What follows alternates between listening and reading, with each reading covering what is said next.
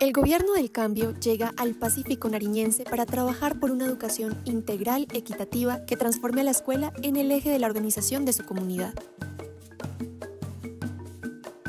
La estrategia de formación integral da un nuevo sentido a la jornada escolar, enriqueciendo la experiencia pedagógica con las oportunidades de aprendizaje, que incorporan la cultura y las artes, la actividad física, el lenguaje y el bilingüismo, la ciencia y las matemáticas, y la educación crece, para la ciudadanía, la reconciliación antirracista, socioemocional y para el cambio climático.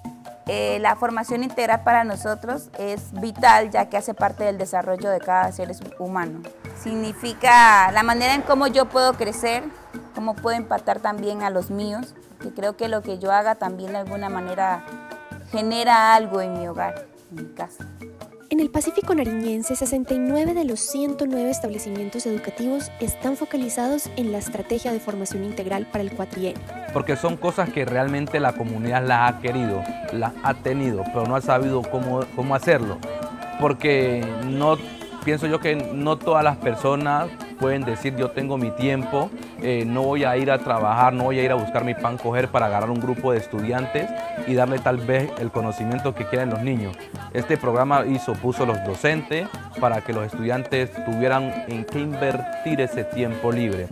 Este trabajo intersectorial, de la mano con los Ministerios de Cultura, Deporte, Ciencia, Tecnología e Innovación, Ambiente y Desarrollo Sostenible, TIC y el SENA, se implementa en sintonía con los proyectos educativos institucionales y de manera pertinente y contextualizada.